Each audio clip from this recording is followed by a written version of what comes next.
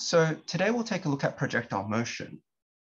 Now, what projectile motion is clearly is the motion of a projectile, but that really needs us to examine what a projectile is. And for our purposes in year 11, 12 physics, we're going to define a projectile as an object whose motion, so that moves, only under the influence of gravity.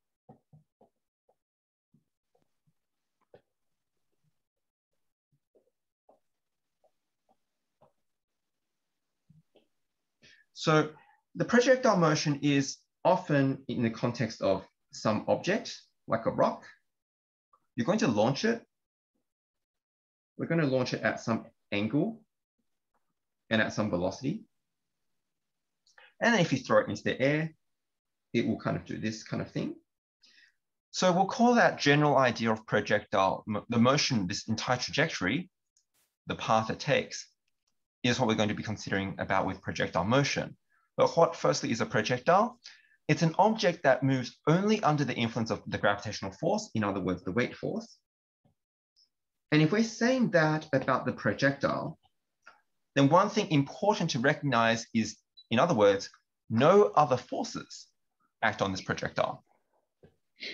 And if no other forces act on this projectile, then a key thing that we are basically saying is that there is no air resistance. In real life, of course, there will be some air resistance, but depending on the situation, that may or may not be negligible. We are basically saying for our analysis, it's not important and is to be ignored. In more advanced courses, you may take air resistance into account and you may still that, call that projectile motion or not. For our purposes here in our course now, air resistance is basically just going to be completely ignored in our calculations. Yeah. We might be talking about what would happen if there is air resistance, but we won't get into calculations on it in physics. Okay? In, in, in you know high school year 11 12 physics that we're talking about here all right so this is the idea now the key points again moves only under gravity and no air resistance now, if you think about this, you've actually done projectile motion before. You've done projectile motion more than, oh, basically a year ago, when you had, for example, someone goes to the top of a building or a cliff and they drop an object. And this object just drops down, right? Mm -hmm. Now, if you drop an object, then it is only acting ignoring air resistance, you, it is only affected by gravity, right? Mm -hmm. So the net force is just negative mg downward. If you think of your free body diagram, it's just the weight force. And so that literally is a projectile motion. It, however, is not a very interesting projectile motion. This is 1D. It only moves up, down. There is no left-right component involved. You are simply dropping the stone or the book or whatever you're dropping, and it goes straight down. But it is technically projectile motion, but not generally what we mean. When we say projectile motion, we are normally having launched the object in some way. We could launch it horizontally, in which case it will do something like this. Or traditionally, we'll launch it at some angle and velocity, it'll do something like this. And the point is projectile motion is now a 2D question. It's no longer a 1D question that you were doing early in the year, but now we are progressing to a two-dimensional problem. All right, so let's consider some examples of projectile motions.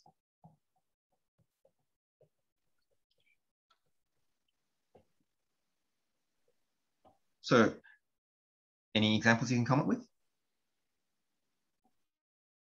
Uh, throwing a rock. Yes. Yeah. So if you throw a rock, a rock generally doesn't have any other forces on it. So throwing a rock would be fine. Anything else? Uh, kicking a ball. If you were to kick a ball, any others? Um, just uh, throwing something in general. Yeah. So you can throw Um, or kick. Yeah. And just no sort of normal object. Anything else? um,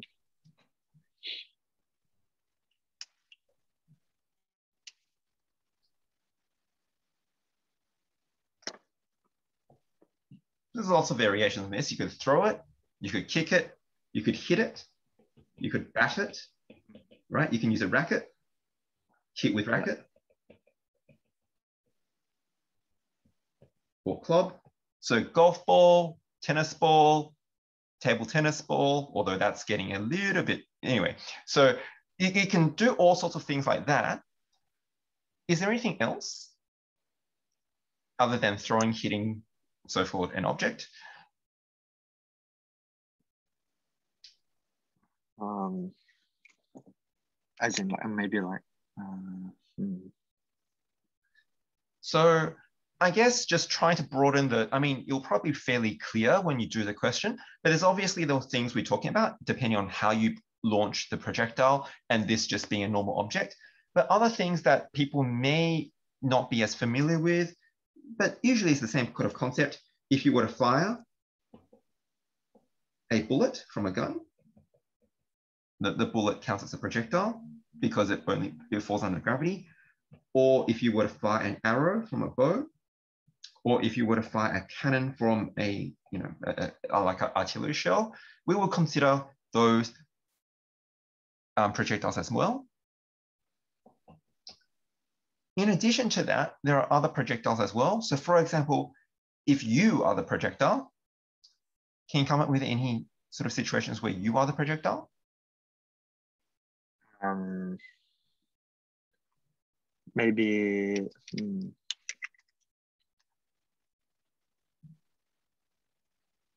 maybe like uh, skydiving or something like that. Um, I guess, although skydiving is a bad example, because skydiving, um, the reason why you don't fall to the ground at very, very high speeds, higher than what you already are, is because air resistance slows you down. So you reach terminal velocity very quickly. But, but basically, anytime you jump in the air, you're so any sort of jump, right? If you jump off a ledge, if you were to jump into the air, so hurdles, um, if you were to do long jump or high jump, once you've left the ground, you're, you're basically a projectile. Anytime you want to dive into the pool, that's basically you're a projectile once you left, leave the diving board. And then other examples might be things like if you have a hose and you're running water out and it fires it into the air. So water from a hose or a sprinkler. So that hopefully gives you some idea of the range of things that we can consider projectiles. There is a reasonable range there. It doesn't cover everything, of course, but hopefully should make it clear. And what might not be projectiles?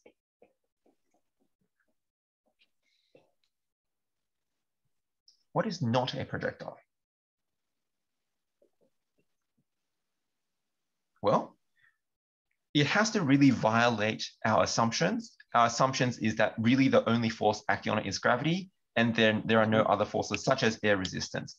So what things go through the air that you may or may not think of as projectiles, but they actually aren't by our definition? I suppose a paper aeroplane would not generally be considered a projectile. And the reason for that is because, I mean, if you think about throwing a paper airplane and throwing a rock, they don't really act the same way, right? The paper airplane yeah. has lift, right? It, it's got lift from the wings. And for that same reason, gliders aren't really projectiles, whether or not, even if there's no power. Planes are not projectile, even if their engines are off, because the wings are still there, right? Yep. And certainly what aren't projectiles are like rockets or missiles, because, well, they literally have their own power, right? Things that have their own power, but for example, where the air resistance is quite high, so things like feathers, would clearly not behave like projectiles. So now we've established what projectile, what projectile motion is. It's the motion of these sort of objects. Now we kind of need to sort of study it. And the really, the key point is that it is a 2D motion.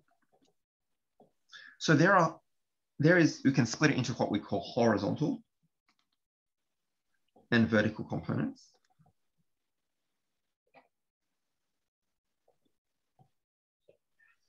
And one really key point, and you could get asked multiple choice questions about this, is that basically Galileo, having done some experiments and so forth, is that the horizontal and vertical components act independently to each other.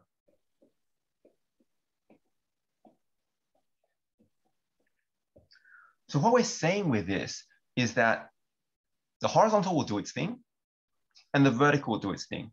The horizontal and vertical together make up the projectile motion, but the horizontal and the vertical themselves do not affect each other directly. So if you think about this, your object that is a projectile, what are the forces that act on this projectile? Um, gravity. Um, Which is W equals mg downwards. Are there any other forces acting on this projectile? uh, like the initial force when like you throw it or kick it or whatever. Did that be one? So we'll leave that aside for the moment. We'll talk about that. Are there any other forces on top of that? Oh.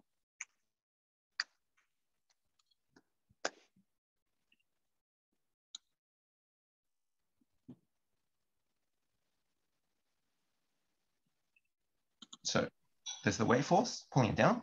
Are there any other forces? There's the force you mentioned that we'll talk about. Are there any other forces?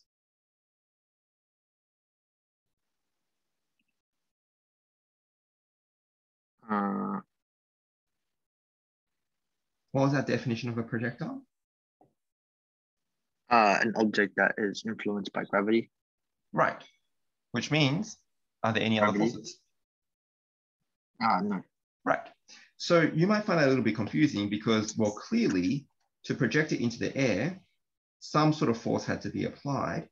And while you're not wrong about that, one thing that I think confuses students a lot is when we talk about the projectile motion, we don't, we're not talking about the launch, right? We don't care how it got launched.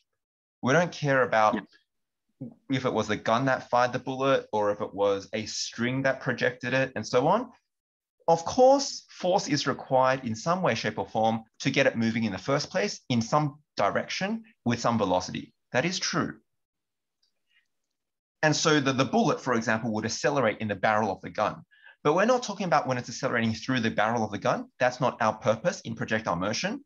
That, that is a separate question that you can ask based on your year 11 work in dynamics. But we're focused on after it leaves the barrel. We don't care about how powerful the barrel is. We just care about at the end of the barrel, what was the speed it left at and at what di- in what direction. Does that make sense? Mhm. So once launched, the, in, the, the force that launched it doesn't have any effect anymore. So once launched, the only forces acting on it is the weight force. And we ignore air resistance. So we just that like is the section ignore it, right? that is the section, yep, we're ignoring air resistance. And that blue section is the section we're talking about. We don't care about how it's launched. That is a separate question in and of itself, which is not usually asked about when you're talking about projectile motion. Right? Yeah. So this is your free body diagram. So keep in mind that this is your free body diagram of your forces on your projectile. Are there any horizontal forces on your projectile? Um, I would say no. So the net horizontally, your net force horizontal is zero. Are there any vertical forces on your projectile? Uh, the gravity. And is that up or down? Uh, down. And what is the magnitude? Uh, nine point eight or Negative 9.8. Well, that is G, but that's not the force. How do we calculate the force?